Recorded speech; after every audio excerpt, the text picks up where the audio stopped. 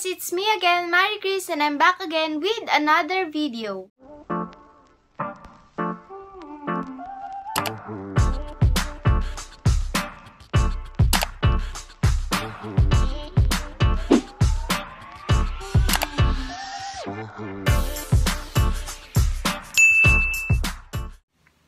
And for this video, ang pag-uusapan natin is how to start your own YouTube channel. So, let's start na. Sasagutin lang nam natin dito kung ano yung mga importanteng bagay kung paano nga ba magsimula ng YouTube. Paano gumawa ng Gmail account, ganyan. Kumikita ba ang YouTubers sa YouTube, mga vloggers?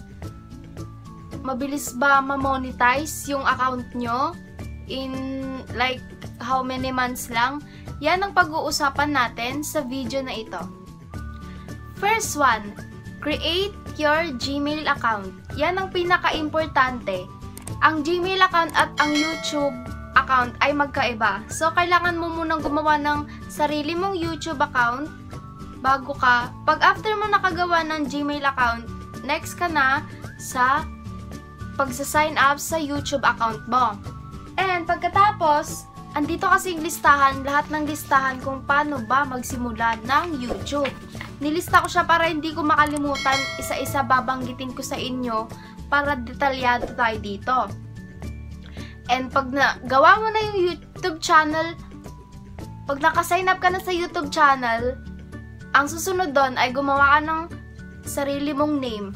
At yung name na ilalagay mo doon, make sure na searchable siya or madaling hanapin at ilagay mo yung mismong pangalan mo para mahanap ka nila agad. And tingnan mo muna, isearch mo muna pag ginawa mo ba tong pangalan na ito, may kaparehas ka ba? Ganon. Mas maganda kasi pag wala kang kaparehas na pangalan sa YouTube para mahanap ka agad ng mga manonood mo. At ang susunod naman ay create your channel art or yung YouTube banner. Yun yung parang meron sa Facebook na Facebook cover, ganyan, sa mga Twitter, yung sa taas niya. Gumawa ka ng ganon and ilagay mo, pwede mong ilagay yung name mo doon, anong nilalaman ng content mo, anong nilalaman ng YouTube mo. And baka maram, may makuha pa silang about sa'yo doon. And last naman ay channel description. Hindi mo naman kailangang ilagay lahat ng about sa'yo yung isummarize mo lang kung anong pwede nilang malaman sa channel mo, anong expected nila na i-upload mo at ang mga content mo doon. And proceed na tayo sa next. Doon naman tayo sa usapang content. Create your content. Isipin mo yung mga bagay na kung saan ka magaling, kung saan yung passion mo, sa makeup ba, sa travel, sa music, dance, sa pagkain, yan pwede mo yung gawing content sa YouTube channel mo. Anything na alam mo sa sarili mong kaya mong gawin, yon. And sa susunod naman ay who. May tatlo tayong W dito at ang una ay who. Sino ba ang target mong manonood dito? Bata ba, matatanda, or kaedad mo lang? Make sure na i-inform mo sa kanila na kung pambata ba tong content mo na to, kung sino lang ba pwedeng manood nito, rated PG, SPG, ganyan. And sa susunod na letter W ay where. Saan mo i-film ang mga magiging content mo sa bahay nyo ba? Tulad neto, sa bahay lang ako nag gagawa ng mga video sa labas, kunyari sa travel, kung saan kayo pumunta, sa sing and dance, ganyan. Saan nga ba? Saan mo ba i-film yung mga videos mo? At ang last naman na W ay when. Kung kailan mo i-upload, kailan mo balak mag-film, kailan mo balak gumawa ng content, at gumawa ka ng schedule mo din kung kailan mo i-upload para hindi sila mag-antay ng mga videos mo. Or kung pwede na gumawa ka na lang ng pag gumawa ka na lang ng videos mag-film at, mag-film ka para yung nagawa mong schedule dun mo i-upload at hindi ka matambakan or hindi ka mawalan ng videos na i-upload every week. Yon. Pangatlo naman tayo, filming equipment. Unang-una ay camera. Kung wala pa kayong ginagamit na literal na camera, pwede naman yung cellphone nyo basta alam niyo sa sarili nyo na good quality siya. Maganda yung maganda yung background, ganyan. malinaw yon nakikita kayo ng maayos, ayon. Ang susunod naman ay lighting. Kailangan sakto lang yung sakto lang yung brightness, ganyan, sakto lang yung ilaw sa harapan mo. Kasi pag sobrang, sobrang, ang tawag na ito?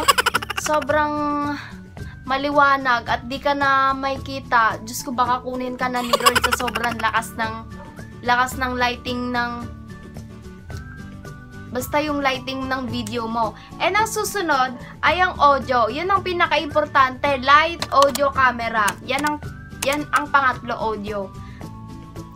Kung mahina man yung brightness mo or hindi man maganda yung quality, bumawi ka sa audio kasi yun ang pinaka-importante na naririnig ka ng mga taong nanonood sa'yo. Kasi paano nila maiintindihan yung ine-explain mo or yung pinapanood nila kung hindi naman malakas or hindi naman hindi naman maayos yung pagkakasabi mo sa ine-explain mo sa content mo. And ang susunod naman ay backdrop. Maghanap ka ng pwedeng background like this na likod ng dingding lang to. And maghanap ka, hindi mo kailangan bumili ng, like kung bago ka pa lang, hindi mo kailangan bumili ng backdrop or yung colored na backdrop, yung may glitters, ganyan, ganyan. Maghanap ka lang ng simple kung saan ka komportable, dun ka, dun, dun ka mag-film. And, yon ang last naman ay, maghanap ka ng video editor na maayos. Dun ka bumawi. Kung mahina man yung boses mo sa pagka, pagkaka-film mo, Pwede mo siyang i-edit, pwede mo siyang palakasan, and maghanap ka ng the best na video editor para sa mga videos mo. Ang pang-apat naman ay dito na tayo sa pag-a-upload ng videos. Ang una, ilalagay natin ang title kung ano nga bang tungkol sa video na ito.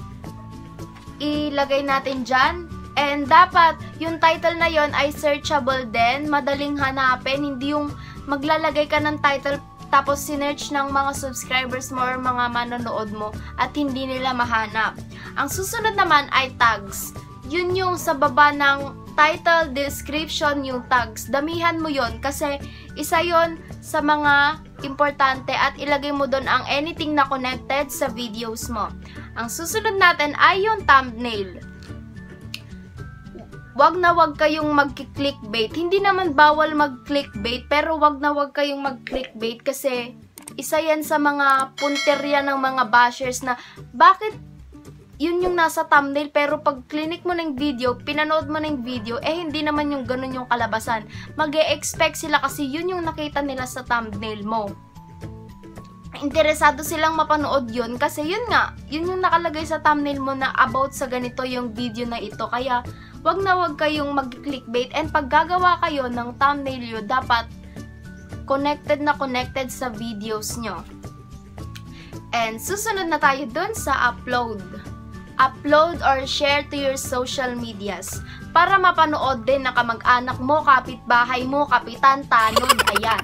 I-send ay i-upload mo siya or i-share mo siya sa social media accounts mo like Facebook, Instagram, Twitter. Ayan para maklik agad nila yung link. Pag pinost mo, andun dapat yung link para pag clinic nila, diretso na agad sila sa videos mo. Kasi yun yung mostly ginagawa ko at ginagawa ng ibang YouTubers. If hindi makapunta agad yung mga subscribers nila sa YouTube, pinupost na lang nila sa social media, sa iba't ibang social media accounts nila para i-update kung may bago bang videos, kung may uploading ba, ganyan. And ang last naman ay, importante ba ang intro, intro at outro ng video? Hindi naman siya masyadong importante, pero kung may nagawa kang intro and outro, pwede mo naman siya ding ikabit or ilagay sa mismong video mo. And proceed na tayo sa next. At panglima, requirement At panglima, requirements to partner with YouTube. Ano nga ba yung mga requirements para makipag-partner tayo sa YouTube? Dito na natin pag-uusapan ano nga ba yung old requirement ni YouTube ilalagay ko dito. Ang old requirement ni YouTube ay 10,000 total views. Yon, ang old requirement niya last last year. Ewan ko kung kailan kailan yung huling old requirement na to? 10,000 total views. And ang new requirement ilalagay ko dito ay 1,000 subscribers and 4,000 watch time hours. Hindi natin masasabi na mad madali lang yan pareho, pero ang pinakamadali sa dalawang to ay eh yung 1,000 subs mad madali mo lang siyang abutin, pero ang 4,000 watch hours ay mahirap. Kaya bumawi ka, upload ka ng upload, upload ka ng upload para may mapanood sila. And para mas umangat yung watch time hours mo and ma-reach mo na yung requirement kung paano ba natin i-partner kay YouTube. And proceed na tayo sa next. Ito ang isa sa pinakatanong ng ibang mga manonood natin. Kumikita ba ang vloggers, YouTubers, ako? Kumikita ba tayo? Yes, kumikita. Kumikita ang vloggers. Kasi, bakit may requirements? Bakit may requirements to partner pa kay YouTube kung useless lang naman yon? Paano ba kumita ang mga vloggers? Ito ay through Google AdSense. Pag na-reach mo na yung 1,000 subs, 4,000 watch time hours, dun na pwede na nilang i-approve, i-monetize yung YouTube channel mo. Magpa-process pa yun ng ilang days kung kung i-approve ba talaga nila. Mas lalong babagal yung pag-approve nila kahit na-reach mo na yung limit ng 1,000 subs, 4,000 watch time hours, kung puro copyright yung mga videos mo, kung may copyright copyrighted na music, ganyan, or background music, doon sila matatagalan para i-approve yung YouTube channel mo.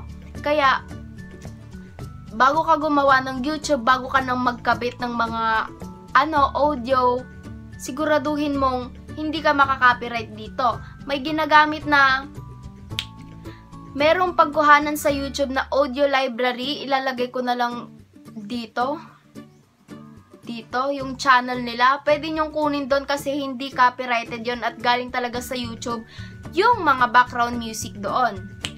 And, pwede din kumita ang mga YouTubers by brand deals. Pwedeng, yung mga brand na yun, pwede nilang padalhan yung mga YouTubers para i-review yung mga binibenta, binibenta ng brand na yon. And kung nasatisfy sila, nasatisfy yung mismong brand, babayaran yun yung mismong brand, babayaran yun ng YouTuber. Kung sino man yung nag-review nun, kung nasatisfy sila, nasatisfy sila sa mismong pagkaka-review ng vlogger, makeup guru, or yung YouTuber na yon. Pwede silang sweldohan doon. And proceed na tayo sa next. Ito ang pang 7 na question, how to gain subscribers. Unang-una, mag-upload ka ng mag-upload i-share mo sa social media yung mga yung mga yung, yung YouTube channel mo. Ano ba yung nabubulil ako? Oh my God. At gumawa ka ng content. Gawin mong content yung trending, yung fresh pa sa isip ng tao, fresh pa sa panrinig ng tao, fresh pa sa pantingin nila. Para if ever na ganyan, ay trending ito, ginawa niya ng reaction video, mapanood nga, ganyan. Pwede mong gawin yon And gawin mo yung mga makakapagpasaya sa'yo at yung makakapagpasaya sa viewers mo. Upload ka lang ng upload hanggang sa kailan mo gusto. Kasi sa YouTube, literal na bawal talaga ang tamad. Once nas nasimulan mo na ang YouTube, tuloy-tuloy na yan. Tuloy-tuloy ka na mag-upload, ganyan. Huwag kang, mang, wag, wag kang manghinayang, wag kang, alam mo yon um, maging confident ka na pinasok mo ang YouTube, ganyan, passion mo yan, ginusto mo yan. Kaya, yon maging masaya ka sa pag-upload, sa paggagawa, paggawa ng content mo para magkaroon ka ng maraming subscribers at para maraming matuwa sa videos mo.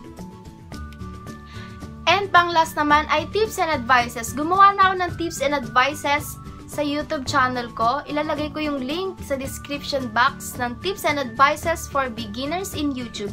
Pero magbibigay pa rin ako dito. Unang-una, be confident lagi. Isipin mo na, ya, kinakausap mo yung camera.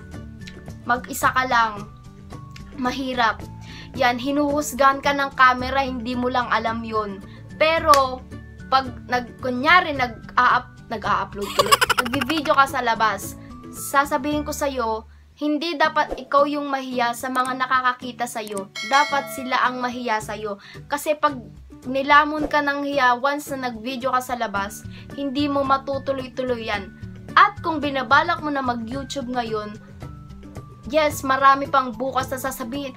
Bukas na ako gagawa, bukas na ako mag-film, bukas na ako mag-film ng content, bukas na ako gagawa ng Gmail account, bukas na ako gagawa ng YouTube channel.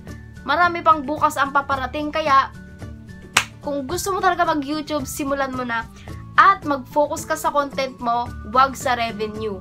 Kasi once na nag-focus ka sa revenue, yun na lang yung iisipin mo sa channel mo. Ay, na-approve na to. Ay, na-monetize na yung channel ko. Magkakasweldo na kaya agad ako. Ganyan. Hindi ganun yun. Isipin mo, isipin mo lang na nagsimula ka sa wala, nagsimula ka sa zero subscribers, zero content, zero videos. Yon ang isipin mo lagi na hindi ka hindi mo pinasok yung YouTube para lang sa sweldo. Hindi mo pinasok yung YouTube para lang sa pera at mag-focus ka sa content mo, maging confident ka and yung mga ibang tips and advices ilalagay ko na sa description box kasi gumawa na ako ng video nun para sa mga beginners in YouTube. And dito ko natatapusin ng video. Thank you for watching. I hope you like it and enjoy. Please do subscribe and hit the notification bell button to be notified every time I post a new video. And comment your suggestion kung ano pang gusto nyong video na gawin ko, challenges, kung anong gusto nyong i-react ko na video, and mga mukbang, ganyan. I'll try to make it for you. And see you on my next video guys. Bye!